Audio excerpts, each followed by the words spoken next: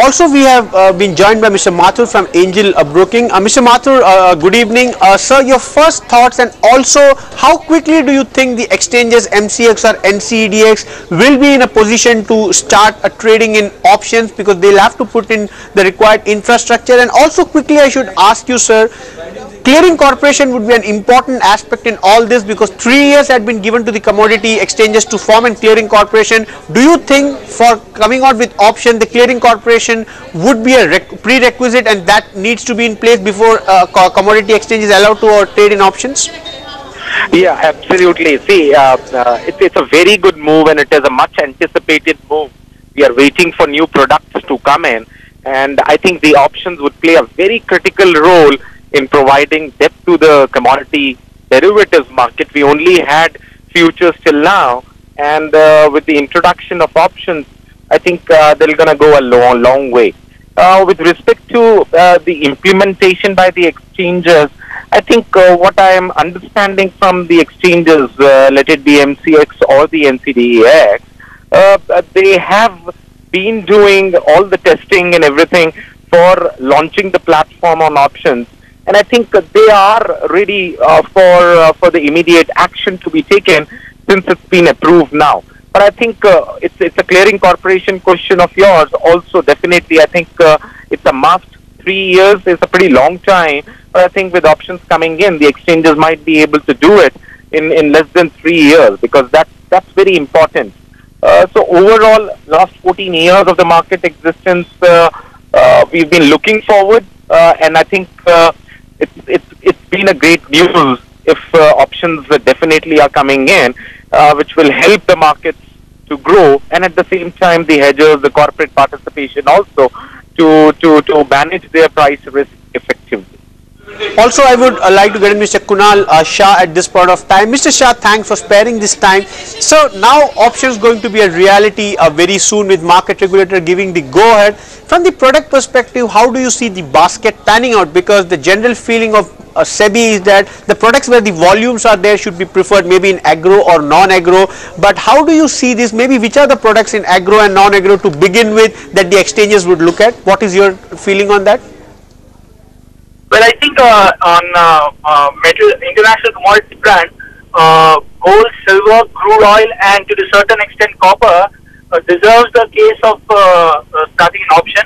I think in this four commodities, volume have been pretty robust, and I don't see any reason why these four commodities should not be included. And on the agri front, I believe soya bean, soya oil, these two commodities present a very strong case, and to a certain extent, guar seed these three commodities on agri front deserves a very strong case uh, to start with option because the volumes in all these seven commodities which I've just mentioned have remained robust over several years and uh, with the introduction of uh, options, I think the volumes will surge ahead further.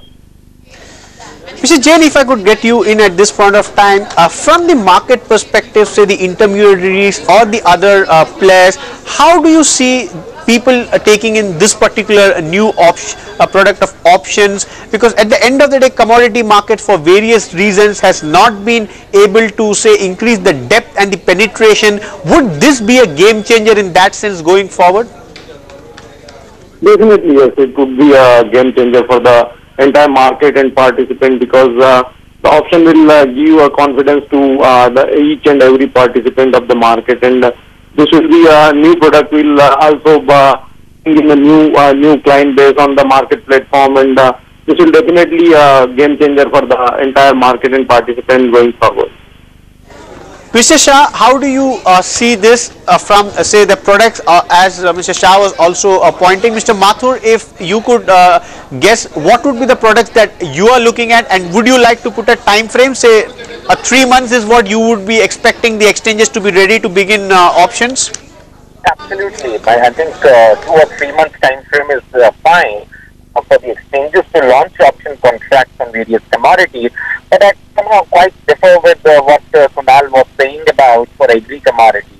In that sense, uh, we need uh, the commodities uh, which have liquidity and which are widely traded across international states.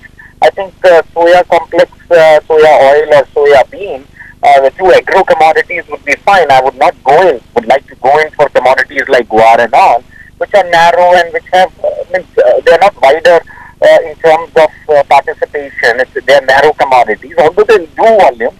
But I think uh, we need to see the liquidity, the depth, the objective and the subjective factors uh, to to uh, to take care before launching uh, the options contracts on various commodities.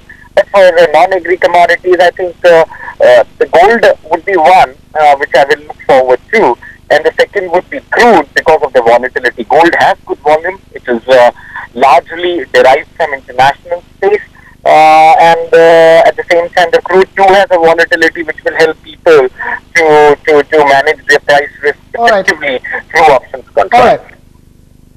All right, uh, Naveen Mathur of uh, Angel Broking, uh, thank you so much for taking time out to join us uh, here as this big piece of breaking news uh, uh, arrives on the channel. We do, uh, of course, thank you uh, Vijay Ganeshan Iyer and Kunal Shah, all three of you gentlemen, and Manoj Jain as well for putting into perspective the commodities markets having a new set of norms governing them exactly a year after the merger of FMC with SEBI. And with that, we need to wrap things up here on this edition of ET Now News First at 4. Thank you so much for watching. This is Krishna Kumar signing off.